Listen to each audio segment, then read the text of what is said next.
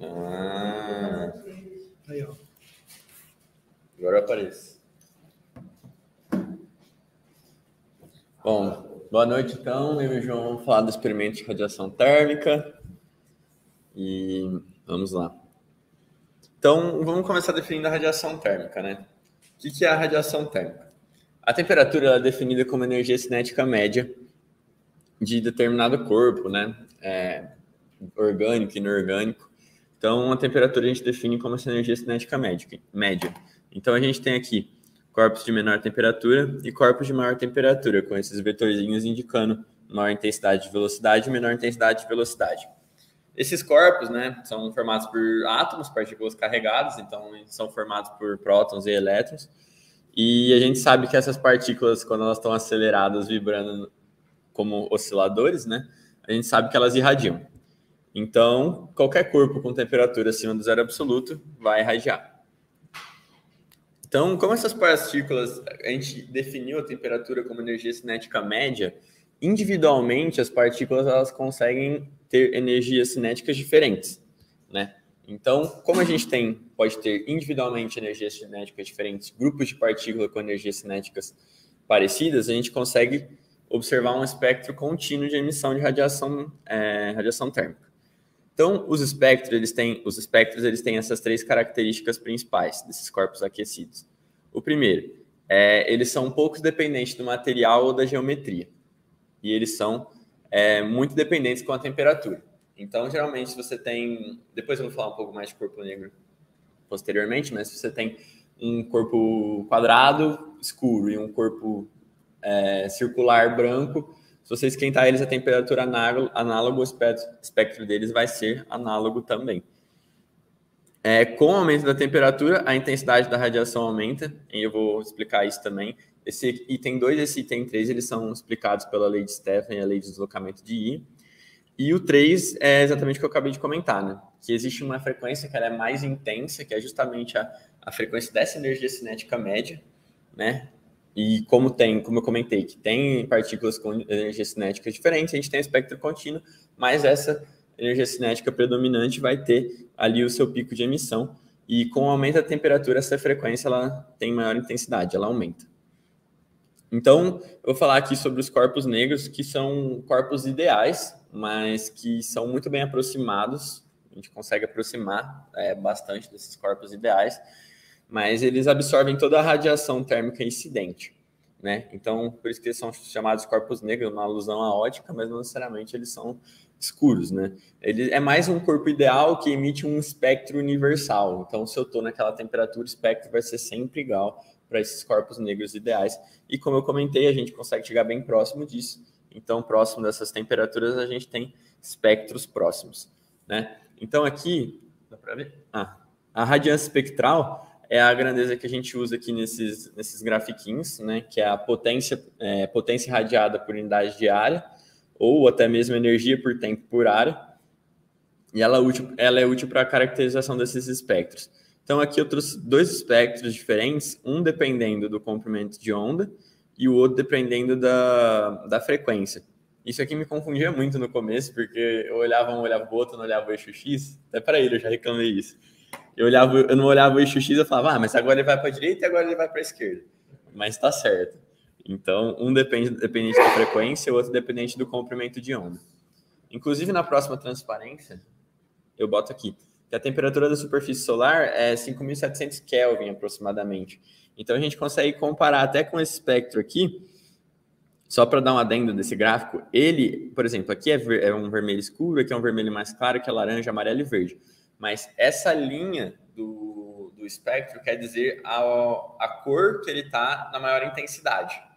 É, então, o que eu queria comentar sobre o Sol é que a gente pode comparar a temperatura da superfície do Sol a essa curva. Mas a gente sabe que o Sol não emite o verde, ele está a maior intensidade no verde e está muito bem distribuído no espectro visível. Então, a, a cor do Sol ela é branca. Né? Então, a gente consegue concluir isso por esse espectro, porque apesar da intensidade diminuir, ele é bem distribuído em todas os, as faixas de comprimento de onda do espectro visível. Então, a gente consegue ver aqui por, por isso aqui. Então, é, a integral desses espectros aqui, a integral sobre a curva da radiância espectral, a gente consegue obter a radiância, que é a energia por unidade de área. Né? Se a radiância espectral é potência por unidade de área, a integral vira a energia por unidade de área. E ela é toda energia, é a energia total emitida por essa, por essa curva aqui. Né? A gente integra, a gente obtém a área. E por esses corpos negros ideais, a gente conseguiu obter empiricamente a lei de Stefan, né? Que a gente já tinha os dados e a gente ajusta a, a equação aos dados, aos dados que a gente obteve. Então, para esses corpos negros ideais, a lei de Stefan calcula a radiância espectral. Inclusive, está só radiância aqui, mas é a radiância espectral justamente porque está em watt por metro quadrado, a constante. Né? Então, a gente cancela a temperatura a quartos, fica watt por metro quadrado. Então, essa lei de Stefan ela consegue definir justamente o, o nosso eixo Y para corpos negros ideais. Então, eu acabei de explicar o item 2 né, do, do espectro que eu tinha comentado, que com o aumento da temperatura a intensidade aumentava, porque ela tem uma dependência de T a quarta. Né? Se aumenta a radiância espectral com T a quarta, então ela aumenta com a temperatura a, a energia. E agora eu vou explicar o deslocamento, que é proporcional ao deslocamento de Yin, né, que Quanto maior o, o, a temperatura, maior o comprimento de onda da radiação emitida, porque mais as moléculas vão, vão vibrar, vão estar com maior energia cinética, e inversamente proporcional ao comprimento de onda. Não? O comprimento de onda máximo vai ser inversamente proporcional à temperatura com uma constante B. Então agora eu vou dar um, um, exemplo de um corpo negro que é usado em laboratório para fazer, foi usado em laboratório para fazer os experimentos e que vai ser o modelo do desenvolvimento do que eu vou comentar posteriormente. Então ele é essa cavidade, né?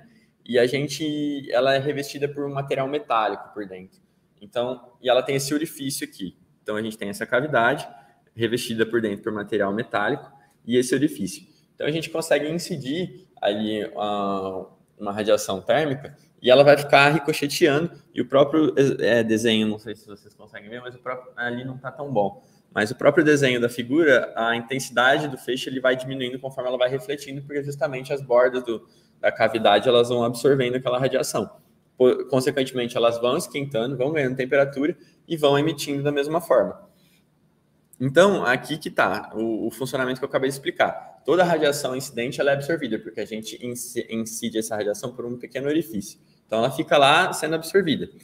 As paredes vão ganhando temperatura e vão emitindo radiação térmica. Então, esse orifício passa a ser ali, uh, passa a emitir a radiação térmica daquele, daquele corpo negro naquela de, determinada temperatura que aquela radia, radiação foi absorvida.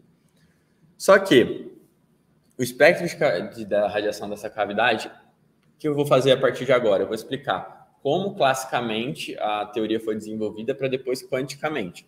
Então, é, para a gente conseguir desenvolver um modelo e fazer as contas, né, por, por um modelo ali geométrico, é mais fácil a gente usar é, a densidade de energia, que vai ser proporcional à radiância por 1 sobre m, né? Porque a radiância é energia por metro quadrado e a densidade vai ser energia por é, metro ao cubo. Então vai ter só essa dependência, mas elas são diretamente proporcionais, que é o que eu vou comentar no próximo transparência. Aqui eu só trouxe um, uma tabelinha com umas proporções de temperatura e as cores que a gente consegue identificar. E aqui fica a, um adendo para o que eu comentei do sol também, né? Quando o pico já está perto do amarelo, do verde, está bem distribuído sobre o espectro visível, a gente já começa a enxergar o, o, corpo como branco, né? Em algumas estrelas também, a gente tem estrelas que têm a superfície próxima de 10 mil Kelvin, que a gente consegue ver as estrelas já emitindo a, a cor azul né? Que são as estrelas mais energéticas, inclusive que vivem por menos tempo, né? Então agora eu vou explicar justamente o, o modelinho, o, usando o modelinho que eu acabei de dar do, do corpo negro, eu vou explicar como classicamente foi criada a teoria da radiação de cavidade. Então foi o Rayleigh e o Jeans que no início do século XX quiseram tentar explicar a emissão de radiação pelos corpos aquecidos. Então eles usaram justamente essa cavidade aqui e para enxugar, eu não vou dar tão mastigado as contas para também não, não gastar o tempo, mas eu vou explicar mais ou menos como eles fizeram cada etapa e como eles chegaram no, no fim. Então, a gente começa nosso modelo com um cubo para facilitar as contas mesmo e ficar mais didático, né? Para entender um pouco mais fácil. Então, usando essa, essa cavidade que eu expliquei anteriormente, se ela é revestida por uma capa de metal, a gente parte do pressuposto que necessariamente a gente tem que ter nós na, no campo elétrico, no caso, por exemplo, né, considerando o modelo clássico de propagação é, da radiação, se a gente pegar um campo elétrico oscilante, a gente necessariamente tem que ter nós nas paredes desse nosso cubo, dessa, dessa nossa cavidade cúbica.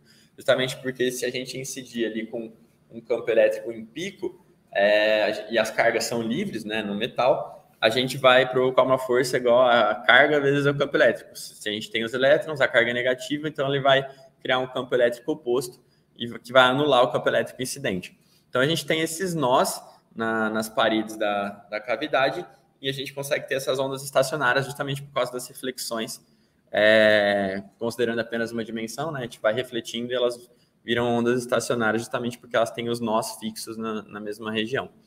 Então, agora eu vou desenvolver uma parte do cálculo pensando apenas em uma dimensão, né? Que seria desse x igual a zero e do, até o x igual a a, que é o tamanho da, da do lado do, do cubo. Então, esse, esse, cálculo como um todo, ele é realizado multiplicando o número de ondas possíveis no intervalo de frequência que a gente quiser, de Ni a Ni mais dNi, e multiplicando elas pela energia média da, da, das ondas eletromagnéticas, dividindo pelo volume da, da cavidade. É basicamente pegar a energia média, dividir pelo número de ondas que eu tenho e dividir pelo volume da densidade, né, que é energia por volume. Então, é, o fato da gente necessariamente ter que ter os nós em Z igual a zero e Z igual a A, que é a extremidade do nosso cubo, é, limita comprimentos de ondas e frequências dentro da cavidade. Justamente porque o campo elétrico, um campo elétrico estacionário, né, ele pode ser descrito por essa equaçãozinha aqui. E para a gente conseguir satisfazer ela em zero, a gente já colocou, setou o nosso x igual a zero, então ela é satisfeita na origem. Só que quando o x é igual a a, ela tem que obedecer essa relação aqui, porque a gente tem que zerar o, o argumento, né? Ele tem que ser um múltiplo de π. Então a gente tem, para zerar o seno, no caso. Então a gente tem um, um n e a gente pega esse 2x sobre, sobre lambda, tem que ser um múltiplo inteiro de π, né? Porque a gente pega aqui, ó, 2x sobre lambda, fica só o π. Então, esse 2x sobre lambda tem que ser igual a um múltiplo inteiro de π para a gente conseguir zerar o argumento e o campo elétrico ser zero na outra extremidade. E é justamente o que a gente vê aqui, ó. Então, esse é para n igual a 1, para n igual a 2, para n igual a 3, e a gente vai tendo lá os, os harmônicos das ondas estacionárias. Então, a gente tem comprimentos de ondas e frequências é, específicas dentro da cavidade. Isso pensando em uma dimensão, né? Então, é, agora pulando a parte do cálculo, porque você já sabe, você, a gente já sabe como calcula. A gente pega essas condições de contorno de z igual a zero, de z igual a a, e aí a gente consegue varrer uma frequência que a gente quer e de acordo com, a, com essas equações, a gente sabe quantas frequências a gente tem lá dentro. Então, sabendo isso, a gente generaliza esse caso unidimensional para um caso tridimensional e chega nessa equação de resultado para o número de ondas num intervalo de frequência vai ser escrito por essa equaçãozinha aqui, 8π vezes volume sobre C ao cubo n quadrado. Então, a gente tem uma parte do nosso, do nosso cálculo. Usando a, lei clássica da, da equipartição de energia, a gente sabe que a energia total média para cada onda é igual a KT. Então, multiplicando 1 e 2 e dividindo, dividindo pelo volume, a gente obtém a previsão clássica né, para radiação de corpo negro. E é justamente o volume ele cancela com o volume aqui do, do numerador e a gente adiciona o KT. Então, a gente já obteve a, o cálculo clássico para a teoria da radiação eletromagnética clássica. Então, agora vamos falar do, da teoria moderna, porque para baixas frequências, a previsão clássica se aproximava muito bem dos estados experimentais. Só que para altas frequências, a previsão clássica divergia insanamente, né? como a gente pode ver aqui. Então, aqui é a teoria clássica desenvolvida por Rayleigh Jeans, e aqui eram os dados experimentais que a gente tinha de radiação térmica. Então, alguma coisa estava errada. Então, esse comportamento não realista, né, para essas altas frequências, né, ficou conhecido como a catástrofe do ultravioleta, justamente por começar a dar errado a partir do ultravioleta, e foi fundamental para o nascimento da física moderna, justamente porque o Planck chegou e tentou corrigir isso.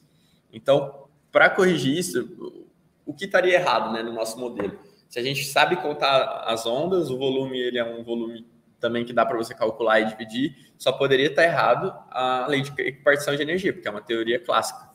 Então ele propôs que a lei de repartição de energia estaria errada e ele considera a hipótese dessa violação e ele percebe que para se ajustar aos dados experimentais, ele teria que ter que essa energia é, média, ela teria que tender a KT quando o Ni vai para zero e tender a zero quando o Ni vai para infinito. Então, ele percebeu também que ele poderia obter esse corte se ele fizesse a energia como uma variável discreta, em vez de uma variável contínua, considerado pelo modelo clássico da equipartição de energia. Então, eu vou explicar essa parte através de gráficos, e aqui eu trouxe o, o eixo Y desses gráficos, mas a gente tem lá no Iceberg um apêndice inteiro que ele desenvolve os cálculos dessa probabilidade, dessa distribuição de probabilidade de Boltzmann, dessa teoria cinética clássica, que é de onde ele tira a, o valor da energia, né? Inclusive aquele KT e o que a gente vai ver posteriormente para o modelo moderno, né? Para o modelo de Planck. Então, a gente tem essa probabilidade de Boltzmann, né? Da, por essa equaçãozinha aqui da esquerda, que é justamente esse gráfico que, que decai exponencialmente com uma exponencial negativa. E aí a gente faz para cálculo da probabilidade, né, ponderado por E, e a gente obtém essa curva aqui, justamente porque o, aqui o E vai ser zero, né? Então a gente zera esse termo, aí o E vai aumentando, só que aqui vai diminuindo e vai diminuindo junto. Então a área dessa curva é justamente o valor de E igual a KT, o valor clássico que foi usado na primeira, na primeira teoria de Rayleigh-Jeans. O que o Planck faz é propor que essa energia ela não seja discreta, mas que ela, é, que ela não seja contínua, mas que na verdade ela seja discreta, discreta por um valor HNI. Isso consegue obedecer essa condição que ele precisava, que o valor de energia fosse para zero quando o Ni fosse para infinito. Por quê? A gente vê pelo gráfico, né? Lembrando, aqui é contínuo, não tem o que fazer, você calcula a integral embaixo da curva. Aqui, por ele ser discreto, quando o meu Ni é pequeno, meus passos de energia são pequenos. Então, eu vou me aproximar do modelo clássico. Quando o meu Ni é grande, que é justamente onde dá pau na teoria, quando ele passa do, do ultravioleta, o, os meus passos de energia vão ser maior. E aí eu vou perdendo informação da, da área do, da curva, né, da, de probabilidade. Até um ponto que o Ni é tão grande em que se torna insignificante a probabilidade, a, a área sobre a, a, curva do gráfico. Então eu posso dizer que a minha energia tende a zero para esses Nis grandes, para esses passos de energia grande. Então, com esse, esse Ni grande, com e voltando, né? Ele usa justamente esse mesmo modelo para fazer o cálculo do, da energia moderna, só que ele usa, em vez de integrais, ele usa somatórios, né? Justamente porque a energia é quantizada e não contínua. E aí ele chega nesse valor para a energia média total e fazendo como eu fiz antes, né? Pegando o valor de energia, multiplicando pelo número de ondas e dividindo pelo volume, você obtém aí a, a nova equação de densidade de energia por área, só que agora para o modelo moderno e que se adequa à curva, à curva experimental em todas as faixas de comprimento de onda. Então, esse novo, esse novo espectro abriu aí a, as portas para a física quântica do jeito que a gente conhece, principalmente com a aparição da, da constante de Planck, né? Aqui na, no E igual a HNI, que basicamente é quase um limiar aí do, do dos fenômenos clássicos para os fenômenos quânticos. E aí agora o João vai falar do experimento.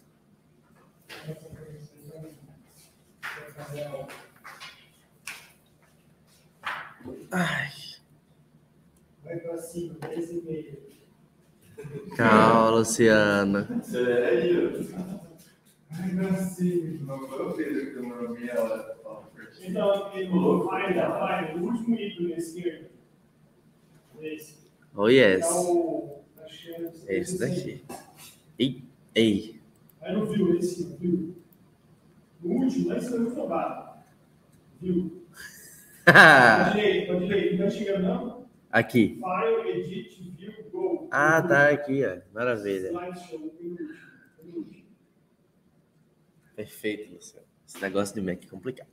Bom, gente, então eu vou explicar basicamente como funciona. Só clica aqui e para.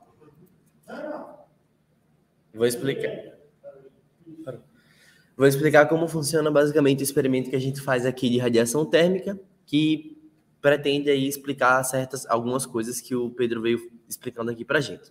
Bom, de, na primeira parte eu vou meio que condensar materiais métodos e os resultados já. Então, basicamente o que a gente faz aqui é a utilização de uma lâmpada e de um sensor. Esse sensor é essa essa espécie de lanterninha preta e aqui a gente tem uma lâmpada, né? É chamada de lâmpada de Stefan Boltzmann, justamente porque ela é gerada pelo aquecimento de um metal, nesse caso o tungstênio, que vai fazer com que ele crie aí um espectro de luz previsto pelos espectros lá de com a correção de Planck, tá? Então aqui a gente teria é, uma lâmpada, o sensor separado pela lâmpada a uma distância d, certo? E a gente vai ter um gerador que vai gerar uma quantidade de, de tensão, vai jogar uma corrente nessa lâmpada, essa lâmpada, por efeito Joule, vai começar a esquentar, e aí a gente vai conseguir ver né, a, a, o espectro previsto lá. Então, bom, é, a gente teve diferentes valores. Nessa primeira parte do experimento, a gente coloca diferentes valores de tensão no nosso gerador e o nosso sensor, nesse caso, ele vai medir voltagem. E aí a gente vai ver que a gente vai ter um trabalho de transformar esse valor de voltagem para unidades de radiância por uma calibração que é fornecida pelo próprio fabricante. Então a gente vê que quando a gente coloca um volt no nosso gerador, o nosso, nosso sensor não lê nada, ele lê 0 milivolts, está fora do, da escala que a gente estava utilizando aí para evitar ruídos demais, enfim. Para 2 é, volts, a gente tem meio volt e assim sucessivamente. A gente andou em passos de 1 um volt a de 1 um até 10 volts. E aí, como eu falei, né, para converter os dados de tensão para radiância, a gente usa uma, conver uma, conversão que é fornecida pelo próprio fabricante. Eu acho que falta um mili, né, é, é milivolt por milímetro quadrado. Esse 18,9 aí que eu chamei de φ. O R da radiância seria então calculado. A gente pega a tensão, divide pela área, que também é fornecida de 4 milímetros quadrados, pelo φ, tá? E aí, a propagação de certeza aqui, deixei discriminadinha assim, só para mostrar como funcionariam as certezas. E os valores de resistência que a gente achou, porque a gente precisaria dos valores também de resistência, a gente vai ver é, para essa equação abaixo, para a gente saber a temperatura com que o tungstênio está tá esquentando ali, a gente precisa saber, no caso da resistência, é, que está um valor médio ali de resistência para ele naquele momento, né? E aí a gente tira esse valor justamente do nosso gerador de tensão, que ele vai dizer para a gente quanto, quanto de voltagem ele está entregando e quanto de corrente ele está entregando. Então, corrente sobre é, tensão sobre corrente nos daria aí o, a resistência. E aí a gente usa essa formulinha aqui para pequenas variações de temperatura que a gente consegue saber qual seria a temperatura aí aproximada do nosso filamento de tungstênio, tá bom? E bom, basicamente esses foram é, os nossos dados. Então a gente tem aqui as resistências, é, as temperaturas para cada resistência, as incertezas também associadas às temperaturas a fórmula da radi... o valor de radiância para cada um e a incerteza para cada radiância, para cada ponto do gráfico. E aí a gente constrói um gráfico, então, é, que nos permite calcular o coeficiente de Boltzmann, né? Nesse caso, a gente ajustou uma função do tipo A vezes x elevado a b mais c, tá? E aí a gente consegue, então, desse coeficiente A, encontrar o nosso parâmetro, né? O nosso sigma lá, o coeficiente de Stefan Boltzmann, tá bom? E aí, a, coloquei umas setinhas aqui, o valor que a gente encontrou foi 3,34 vezes 10 elevado a menos 10. Lembrando que o valor... Eu vou mostrar depois, na verdade. Enfim. E o nosso B, que seria o expoente, que deveria dar algo próximo de 4, deu 3,27 aí, considerando todas as incertezas. Eu coloquei aqui para a gente dar uma, uma observada. Então, o nosso valor de B foi 3,27, mais ou menos 0,07. Foi considerado dentro do esperado, né? É... Porque teria que ter um valor aí próximo de 4, então tá mais ou menos próximo, né? A gente sabe que experimentos que envolvem radiação são muito complicados porque são muitos efeitos, são, é muita dispersão, reflexão, refração, é muita coisa. Então, a gente considerou dentro do esperado. A gente percebe que o valor, o valor do sigma, na verdade, eu só omiti ali, ele está três ordens, três não, na verdade, são duas é que eu corrigi depois. Mas ele está duas ordens de grandeza distante do que se espera. A gente encontrou o valor de 10 a menos 10 e ele deveria dar 10 a menos 8. A gente pode até tentar justificar isso porque a lei de Stefan Boltzmann precisa de um fator de emissividade, que é um parâmetro que varia de 0 até 1 e que vai multiplicar esse sigma t elevado à quarta. E esse, esse fator de emissividade, ele... É, ele serve aí para ponderar, né, o quanto a gente teria, é, o quão bom aquele corpo é emissor ou não, tá? Então, se a gente pegar esse valor de 3,34 vezes 10 a menos 10, eu posso dizer que dentro desse valor tem o meu valor esperado, que é 5,67 vezes 10 a menos 8, e eu conseguiria então tentar entender qual seria a emissividade desse corpo daí que está emitindo, tá? Então, é, eu fiz uma conta, né? Dividi o, o que foi obtido pelo, pelo esperado, então a gente teria aí um valor de 0,006 para emissividade. Ou seja, o quê? Erradíssimo. Pois é. A vida é assim, e certezas. E aí seria basicamente como dizer é, que, na verdade, eu obtive o, o, o coeficiente certo de 5,67 vezes 10 a menos 8, multiplicado por essa, é, por essa emissividade, que é esse valorzinho que está aqui, que seria esse A, né? Esse A englobaria, na verdade, esses dois valores. E aí, se a gente for ver aí exemplos de emissividades, né, a gente vê que realmente não bate, porque só o tungstênio a 40 graus né, ele teria aí 0,03 de emissividade. 0,006 é uma emissividade muito baixa, comparado aí com os materiais em condições normais de temperatura. Né? Então, a gente vê que é um resultado muito longe do esperado, talvez tentar justificar pela emissividade. Mas a gente sabe que existem infinitas incertezas que podem ter corroborado para essa, essa distância aí do meu valor. Bom, e aí a gente vai passar então para a próxima parte, que é a lei do inverso do quadrado da distância. A gente sabe que essas radiações elas são emitidas como se fossem cascas esféricas, né? Então, se a gente tem a intensidade, a gente sabe que a intensidade é a potência sobre a área, e a área dessa casca esférica iria com R quadrado. Então, a gente está falando de uma coisa que está se propagando com algo que decai com 1 sobre R quadrado. É daí mais ou menos que a gente tentaria justificar que essa intensidade deveria cair com R quadrado. E aí o layout do experimento é o mesmo, a gente vai fixar a potência do, da, nossa, da nossa lâmpada, né? A gente vai fixar um valor de tensão e vai mudar só a distância do sensor. Esses foram os nossos resultados, a gente varreu distâncias aí de... A gente colocou em milímetro para ficar mais bonitinho o gráfico, mais de 3 centímetros até 36 centímetros, e aí calculamos, a gente tem os valores de voltagem fornecidos, calculamos os valores de radiância e as respectivas incertezas, achamos aí é, esse gráfico e a gente ajustou uma função do tipo ax elevado a b mais c. A gente não colocou o x quadrado porque a ideia é fazer com que ele... O x quadrado não, não é o b a menos 2 logo. Porque a ideia é fazer com que esse valor apareça naturalmente, né? E não forçar que iria aparecer um, um, um b igual a menos 2. E de fato a gente achou menos 1,94, tá? Então, só falando dos resultados que a gente achou, a fonte teria característica aí de comportamento pontual, né? porque a distância seria comparável ou maior que o tamanho da fonte, para que a gente possa aproximar aí essa, essa expansão aí por cascas esféricas. E aí a gente tem que B, né, que seria o nosso parâmetro, o nosso expoente de menos 1,94, mais ou menos 0,04, então tá bem próximo de, de menos 2, né? Enfim. E esse A, só para justificar, ele deu, sei lá, esse número gigantesco, porque lembra que o nosso gráfico, o nosso eixo X está em milímetros, né? Então, é, ele teria um valor muito mais bonitinho se fosse se tivesse em metros ou centímetros, enfim. E aí só para justificar a presença desse C, né, porque teoricamente ele não aparece nas fórmulas, mas é interessante ter eles na hora do fitting porque ele funcionaria como um offset, né? Ele jogaria nosso gráfico um pouco mais para cima ou para baixo e nos daria um R quadrado um pouco mais confiável, né? no, no, no nosso caso deu 0.992 aqui.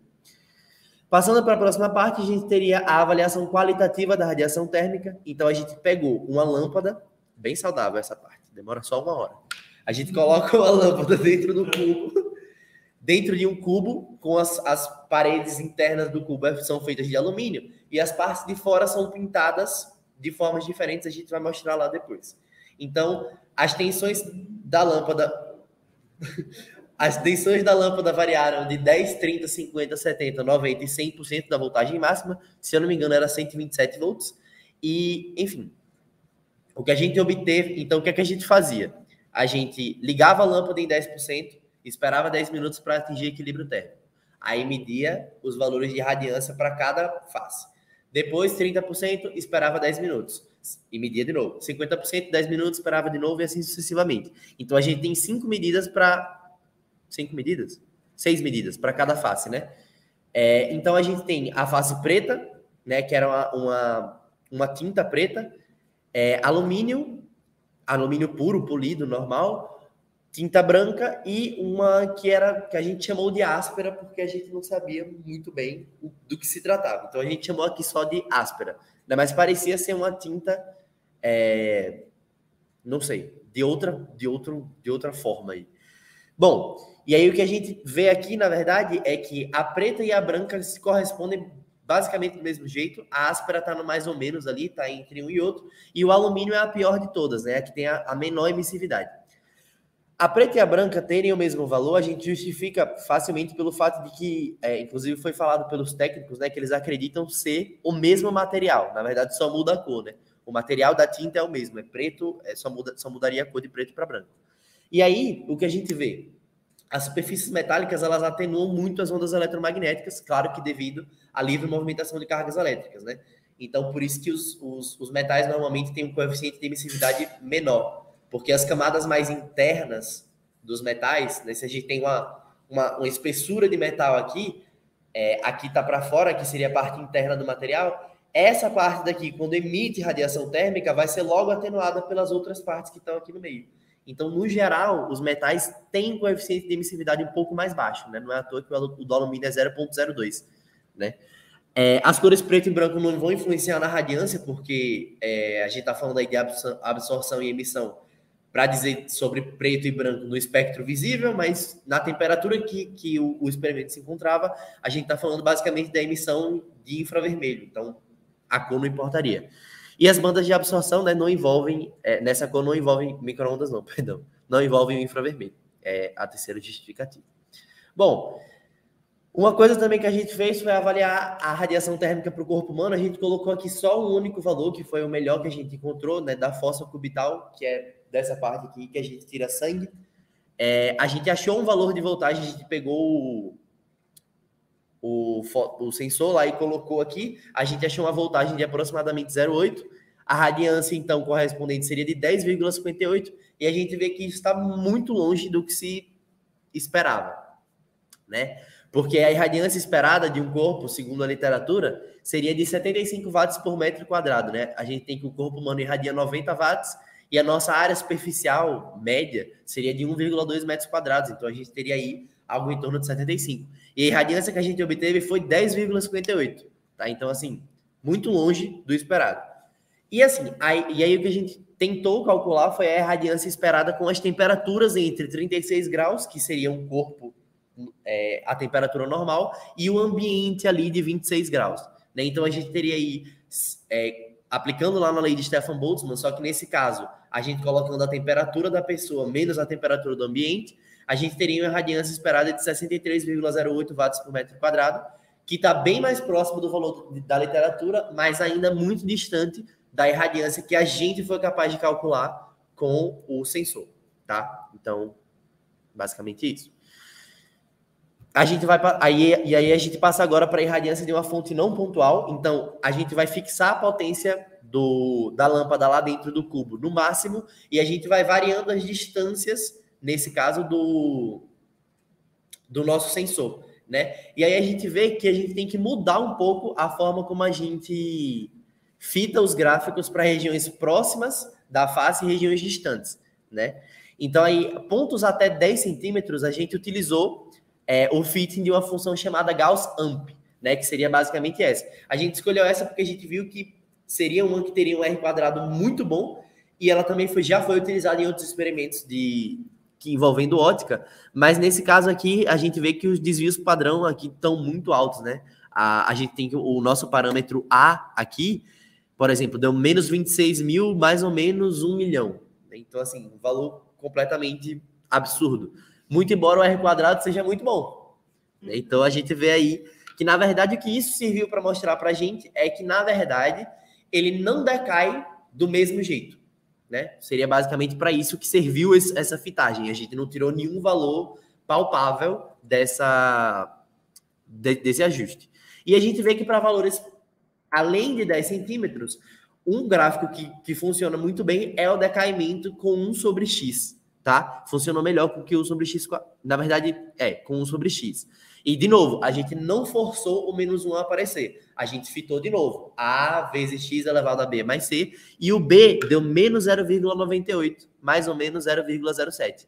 Então, a gente vê que ela cai, na verdade, com 1 sobre r. Nesse caso, porque a gente tem uma fonte muito extensa, né? O cubo, é, o, o cubo é, tem faces grandes.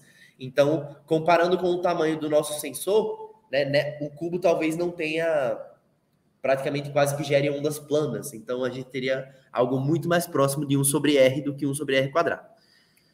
Bom, e por fim, a lei de Stefan Boltzmann para baixas temperaturas. E aí a gente pega, a gente desliga a nossa lâmpada que está dentro desse cubinho daí e é, liga um circulador de ar. E aí a gente vai medindo o decaimento da radiância para as diferentes temperaturas. Tá? Então, dessa vez a gente mediu o, em ordem decrescente, né? E aí a gente encontrou valores, a gente pegou esses. É, dessa vez a gente, a gente preferiu fazer o fitting linear. Então a gente fez um gráfico de radiância por T elevado a 4. O gráfico deveria ter sido ajustado ali, mas enfim. É temperatura elevada a 4 nesse caso, tá? E aí a gente conseguiu um valor muito melhor de sigma, né? De 1,08 vezes 10 elevado a menos 8. Então a gente tem um valor infinitamente melhor do que o outro que a gente achou. A gente está na ordem de grandeza certa e está um pouco longe ali do que, do que se esperaria, mas de novo a gente pode justificar isso por incertezas experimentais e por emissividade, tá? A gente, se a gente considera o fator de emissividade, a gente teria aí, se o valor esperado é 5, a gente obteve 1, a gente teria uma emissividade de 0,2, né? 0,20 alguma coisa, eu acho. Ou 0,18, algo, próximo de 0,2. Então a gente teria um, um, valor muito mais palpável em termos de metais, tá? Bom, e aí dessa vez o sigma, mesmo que ainda esteja relativamente longe do valor ideal, porque deu 1 e a gente quer 5, mas está na mesma ordem de grandeza, né? E a gente justifica, justifica isso pelas incertezas e pela emissividade do corpo, tá? Então a conclusão que a gente teve do nosso experimento todo é: a lei de Stefan Boltzmann se fez válida, levando em consideração as incertezas e que a gente tem corpos cinzas, né? Não, não corpos ideais, corpos negros. É, os limiares da lei do inverso do quadrado da distância se mostraram concisos com a teoria esperada, em que a gente avalia o, o, o tamanho da nossa, do nosso sensor e o tamanho do que a gente está querendo medir. A composição do material é o fator primordial para a emissividade, muito mais do que a sua própria cor. Então, não importa se o corpo, não importa a cor do corpo negro, e sim o material de que ele é composto. E é, as partes diferentes do corpo possuem radiâncias diferentes, né? Justamente porque cada parte do nosso corpo tem um comportamento biológico diferente. Então, cada um vai ter uma radiância diferente, tá? E acabou, Luciana. É isso. Comentários, Luciana.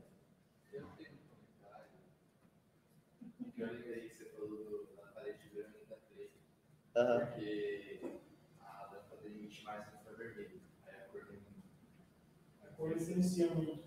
É, então, foi o que eu coloquei aqui, ó. O sensor médio mais vermelho, o branco preto, isso é invisível, né? O sensor não é muito sensível, eu para isso. É. É que eu, eu botei aqui micro-ondas, do nada. Não sei porque, onde é que eu tava com a cabeça, mas eu botei as bandas de absorção para objetos dessa cor não envolvem micro-ondas, né? Porque a gente dizer que um. Oh! Infravermelho. Porque a gente dizer que um corpo é branco. É. Tava discutindo. Porque não importa se o corpo, se a gente falar de ah, o corpo é azul, verde, preto, a gente está falando de absorção no visível e não tem nada a ver com infravermelho. É que a lisa. O quê?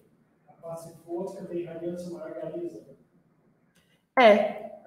A gente viu que tem. Isso, só que eu acho que. É, a gente viu algo que é só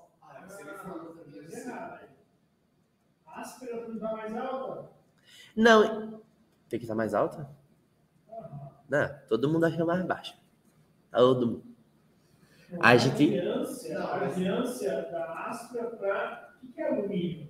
É a lisa? Alumínio é a face polida. Ah, lisa, áspera. Isso. Ah. Mas você não tem toque, né? De colocar a legenda na mesma hora que aparece as coisas. ah, não, eu deixo o Origin fazer isso para mim. Não,